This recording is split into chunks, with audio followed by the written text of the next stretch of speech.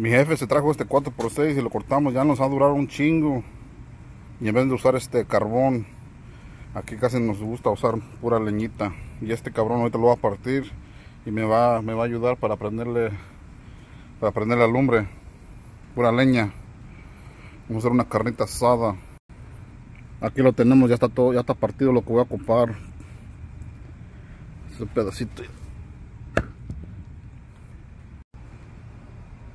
Así es como me gusta meterlos adentro, por abajo de la parrilla. Queda un poquito más abajo de la leña.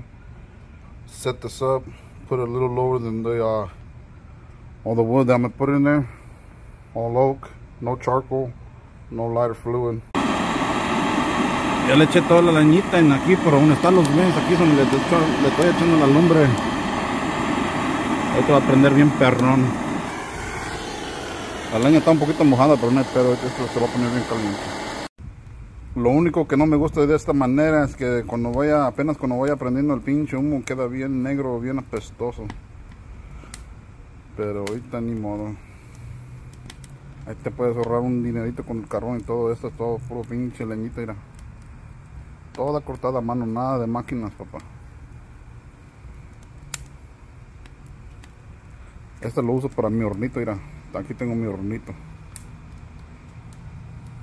este costillas de puerco pero cortadas del otro lado. Um, spare ribs really but it cut the other way not the traditional way. We have um, costillas de res para asar short rib y le voy, a todo le voy a echar sazón completa. Ese sazón completa ese lo pusieron en el lemon porque se nos cayó. Lo tuvimos que echarlo en otro So that's uh, sazón completa. That will go on everything. Este se lo voy a poner en los short ribs. Y con esta combinado. Y esta, la costillas de puerco for the pork ribs. For the pork meat. This is a little seasoning that I, that I have, that I made myself. Voy a echar una pinche salsa tatemada. No sé cómo voy a quedar, pero esto es lo que le voy a echar.